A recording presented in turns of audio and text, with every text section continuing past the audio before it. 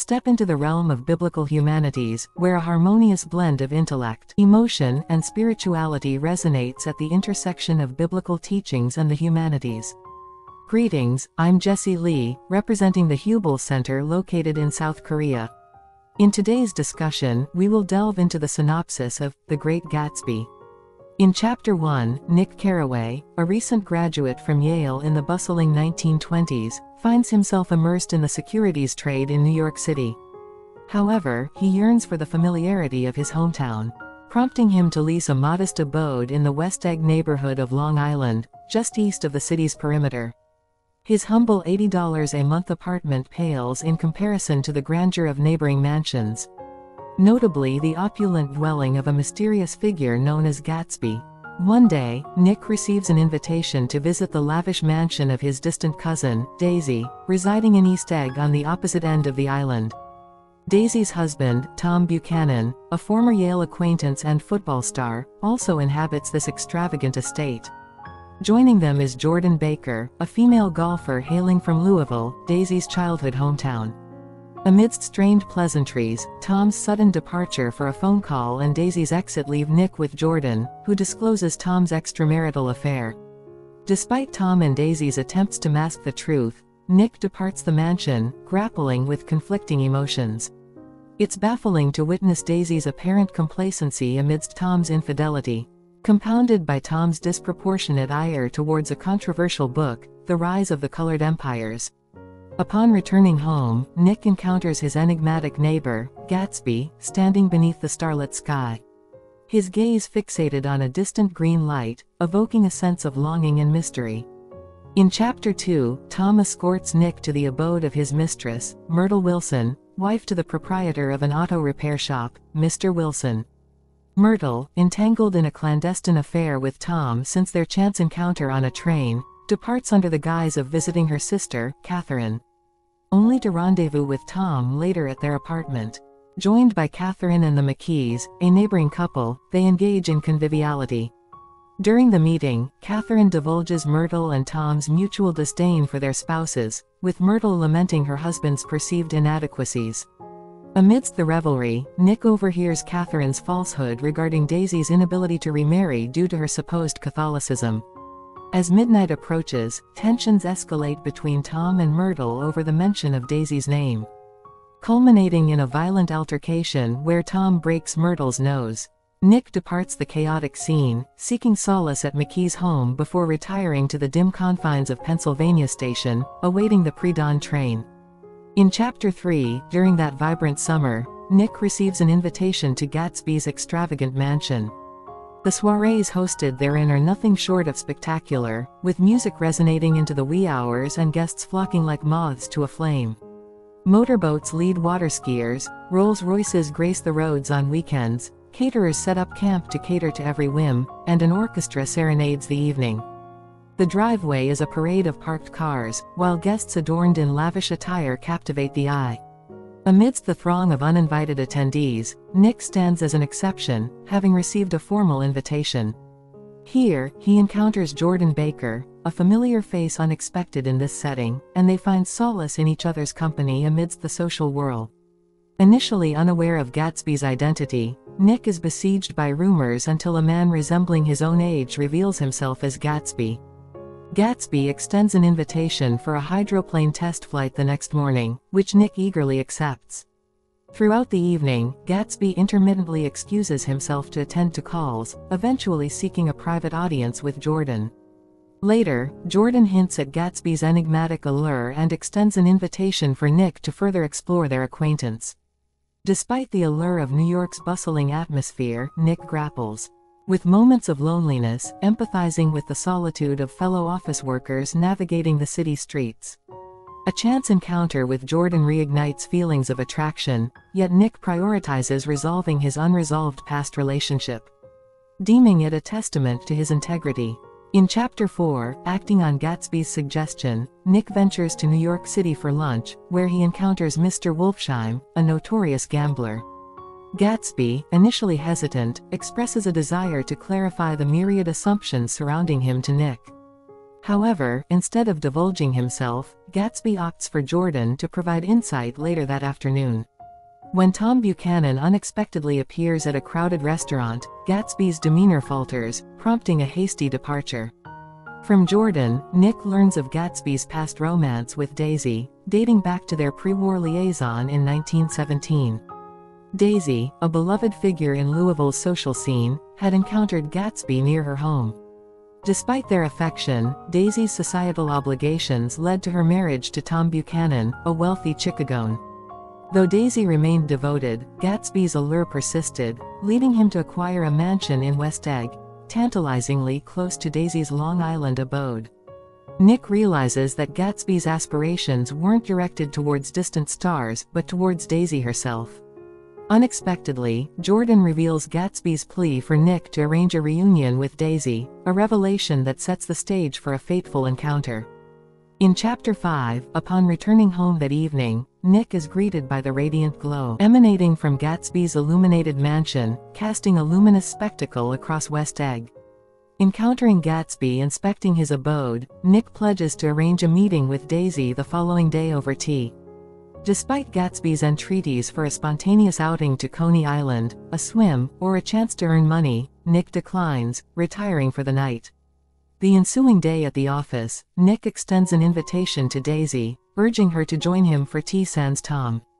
As the appointed day dawns amidst torrential rain, Gatsby arrives ahead of schedule, followed by Daisy in the late afternoon. Awkward pleasantries give way to poignant silence, prompting Nick to tactfully leave them alone to reconnect. Their reunion after five years elicits tears from Daisy and radiant joy from Gatsby. Leading Daisy and Nick on a tour of his lavish mansion, Gatsby shares anecdotes of acquiring the residence and populating it with intriguing guests to stave off loneliness. From the opulent ground floor to Gatsby's modest chamber, where Daisy is touched up at the dressing table while Gatsby beams beside her, emotions range from bewilderment to ineffable bliss, underscored by their undeniable affection. As Nick bids farewell amidst the strains of Mr. Klipspringer's piano, he observes a fleeting doubt cloud Gatsby's countenance, only to be swept away as he recommits to his preoccupation with Daisy.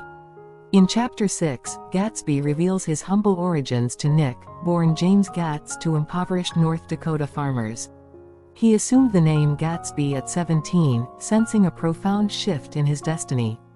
Initially eking out a living from clamming and salmon fishing, fate intervened when he encountered Dan Cody, a wealthy tycoon of Nevada silver mines and Yukon River claims. Cody, manipulated into a nomadic existence by Ella Kaye's scheming, recognized Gatsby's intellect and ambition. Hiring him as a confidant and guardian against his own excesses, Gatsby became ensnared in the extravagant lifestyle of the frontier elite, embodying the recklessness of a bygone era. However, Cody's demise, compounded by Ella Kaye's betrayal, stripped Gatsby of his inheritance leaving him with invaluable lessons and the resilience of true character. When Gatsby and I unexpectedly cross paths one Sunday afternoon, the arrival of Tom Buchanan adds tension to the encounter. Awkward pleasantries are exchanged, but the discomfort is palpable, especially with Daisy present. Concerned for Daisy's welfare, Tom attends Gatsby's subsequent party the following Saturday, observing the revelry with a critical eye before departing. Unaware of Gatsby's true identity, Tom dismisses him as just another nouveau riche bootlegger, deriding the eclectic mix of guests at the party. Observing Daisy's enjoyment, Tom resolves to uncover Gatsby's background. Meanwhile, Gatsby grapples with Daisy's reluctance to embrace his proposal. His scheme involves Daisy telling Tom, I never loved you, thereby terminating their four-year marriage, returning to Louisville, and marrying him anew. Despite Nick's warnings against dwelling on the past, Gatsby remains steadfast in his belief that history can be rewritten. In Chapter 7, just as Nick's curiosity about Gatsby peaks, he receives a call from Gatsby himself. Nick and Gatsby then venture to Daisy's residence on one of the sweltering summer days. However, interruptions arise when Tom's mistress, Myrtle Wilson, calls, disrupting the delicate equilibrium. A public display of affection between Daisy and Gatsby ensues, further complicating matters. Following a tense meal, Tom, growing impatient with Daisy's agitation in the oppressive heat, suggests a retreat to New York City. Insisting on driving Gatsby's car with Daisy, Tom orchestrates a procession with Gatsby, Nick, and Jordan trailing behind. At the Plaza Hotel, tensions escalate as Tom and Gatsby clash over Daisy's affections. Gatsby adamantly contends that Daisy has never loved Tom in the past five years, while Tom vehemently disputes this assertion.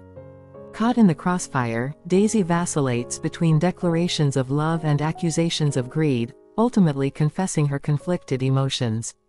Gatsby remains convinced of Daisy's imminent departure from Tom, but Tom counters with damning revelations about Gatsby's shady business dealings, punctuating the heated exchange. Daisy, distressed by the unfolding events, implores Tom to accompany her home, but he insists she depart with Gatsby in his car ahead of him. Tom then drives Nick and Jordan in his coupe back to Long Island. However, en route, they encounter a commotion outside Wilson's shop, where three or four cars and a crowd gather. Sensing trouble, Tom investigates and discovers Myrtle, his former mistress and Wilson's wife, fatally injured by a passing car. Tom confirms Wilson's suspicion that the yellow car involved is the same one he drove earlier that day, assuring him of his alibi. Returning home, Tom finds Daisy safe and sound. Declining Tom's dinner invitation, Nick ventures outside to hail a cab, where he encounters Gatsby. In their conversation, Nick learns that it was Gatsby's car that struck Myrtle, with Daisy at the wheel. Gatsby intends to confess his involvement and retreats to his home after ensuring Daisy's rest. In Chapter 8, the following day, Nick notices Gatsby's return home via taxi and pays him a visit. They share a cigarette, during which Gatsby recounts his love story with Daisy. Meeting her, the daughter of a millionaire, Gatsby becomes acutely aware of the gaping divide between their backgrounds. She resides in opulence, while he struggles as a young man of modest means. Nevertheless, Gatsby fabricates a facade of wealth and success to win her affections, ultimately succeeding. Initially intending to end the relationship due to his socioeconomic status, Gatsby finds himself deeply in love and unable to part ways especially when duty calls him to war. Despite his heroics on the battlefield, fate intervenes as the government sends him to Oxford, preventing a timely return to Daisy. She starts dating other men and eventually crosses paths with Tom, whom she eventually marries. The final correspondence Gatsby received from Daisy was while he was in Oxford. After Nick hears this tale, he realizes he's late for work and departs. Meanwhile, as Myrtle Wilson's body is prepared for burial, Wilson grapples with the mystery of her demise. Observing the events leading up to her death, Wilson suspects Myrtle recognized the driver of the yellow car, intending to confront them before tragedy struck.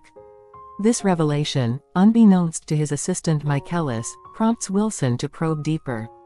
He recalls Myrtle's past injuries and infers a connection to her secret affair. Consumed by grief and suspicion, Wilson wanders aimlessly, eventually deducing the yellow car's owner. Armed with this knowledge, Wilson arrives at West Egg and, in a fit of rage and desperation, shoots Gatsby dead at his pool. In Chapter 9, two years later, Nick reflects on the aftermath of Gatsby's death. Police, photographers, and reporters swarm Gatsby's house incessantly, while the neighborhood children remain the only curious onlookers. Wilson's descent into madness is attributed to grief, swiftly closing the chapter on the murder investigation. Left to organize the funeral arrangements alone, Nick encounters reluctance from those who once frequented Gatsby's lavish parties. Attempts to contact Daisy and Gatsby's business associate, Wolfsheim, yield no success. Fueled by a growing sense of defiance, Nick stands in solidarity with Gatsby against the indifference of society. On the third day, Gatsby's father, residing in Minnesota, announces his intention to attend the funeral, scheduled for the following day upon his arrival. On the day of the funeral, Klipspringer, dubbed the Boarder, places a call to Gatsby's house. Upon Nick's invitation to join the funeral, Klipspringer declines the invitation, citing a prior picnic engagement. Instead, he requests his tennis shoes, indifferent to the gravity of the situation. Nick's journey to confront Mr. Wolfsheim in New York City proves fruitless, as Wolfsheim refuses involvement, adhering to his principle of posthumous detachment. At the appointed time, the Lutheran pastor arrives for the funeral, but no mourners materialize. Amidst the eerie silence, Gatsby's father, the minister, Nick, and a solitary mourner, the bespectacled man from Gatsby's study, accompanied by servants, attend the sparsely attended ceremony. Expressing disbelief at the absence of mourners, the man remarks on the stark contrast to Gatsby's once bustling gatherings. Concluding with a somber lament for the deceased. Nick reminisces about the bittersweet sensation of returning to the Midwest after spending each Christmas season in the East during his college years. It was a ritual that reaffirmed his sense of belonging. Reflecting now, he acknowledges that theirs is ultimately a tale of the West. Tom, Gatsby, Daisy, Jordan, and himself, all Westerners, share some deficiency in common that renders them subtly incompatible with Eastern life. Despite recognizing the allure and grandeur of the East, it has always held a twisted allure. Following Gatsby's demise, the East appears irreparably warped to Nick's eyes, prompting his decision to retreat homeward. Before departing, Nick resolves not to simply let the indifferent sea wash away his troubles. He confronts Jordan Baker to clarify their relationship. However, without addressing Nick's concerns, she abruptly reveals that she is engaged to another man and implies that Nick was the one who turned her down. She admits to misjudging his character, believing him to be honest and upright. Nick, realizing he's too old to deceive himself, ends their relationship, citing his age as a barrier to self-deception. In October, Nick encounters Tom on Fifth Avenue.